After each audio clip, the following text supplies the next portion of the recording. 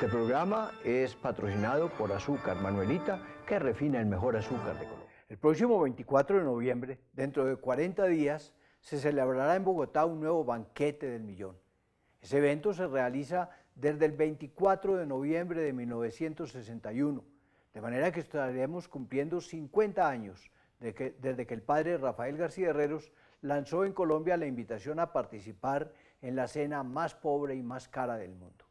Han sucedido ya 50 banquetes en Bogotá, más de 100 en otras ciudades de Colombia o el extranjero, 150 ocasiones para ser generosos, 150 noches para desprenderse de algún dinero en favor de familias que carecen de vivienda. Los estoy esperando absolutamente a todos ustedes.